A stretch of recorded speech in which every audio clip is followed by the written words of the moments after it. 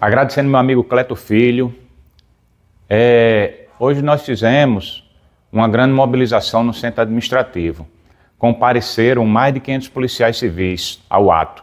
Até surpreendeu a diretoria pelo volume de adesão dos policiais civis, né? Infelizmente, em reunião com o governo, as nossas pautas, que seria a nomeação dos policiais recentemente formados, a questão do nosso salário, que tem um, um problema de judicializa judicialização e mais a valorização, o governo não assinou com nenhuma proposta, nem, nem mesmo com a questão da, da nomeação dos policiais. Nada foi resolvido, foi mais do mesmo. O que conseguimos com a reunião de hoje? Marcar uma outra reunião. E a categoria já está cansada disso, de marcar reunião para marcar uma outra reunião.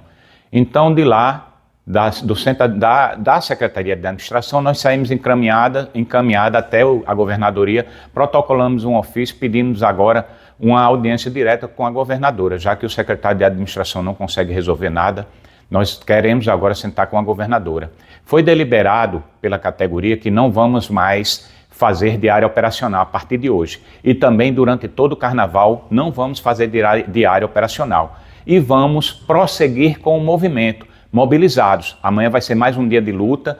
Não vai funcionar nenhuma delegacia, porque é um dia de reivindicação dos policiais civis, reivindicação em busca de valorização, em busca de nomeação.